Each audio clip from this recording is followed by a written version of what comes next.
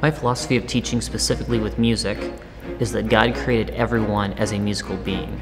God is musical, Zephaniah 3:19 tells us that, and he created us in his image. That's one of his gifts to us. So when it comes to a school setting, I get to help students learn that music, whether that's singing, whether that's instrumental music, is fun. And I get to help them develop those abilities as we go throughout the year. We as a school view what we do as a partnership with them. Our mission statement says that uh, we partner with Christian families to help their students grow, both in the academic and with the Lord's help in the spiritual as well. A lot of that comes from the philosophy and we do the best that we can to work with their students, but it, students' mindsets come from their parents. We want to help them accomplish those goals in their kids. A lot of the process of working with parents starts with the administration. Dr. Phillips does a great job meeting with parents and determining if we can be a good fit for helping them as a family and helping their students succeed.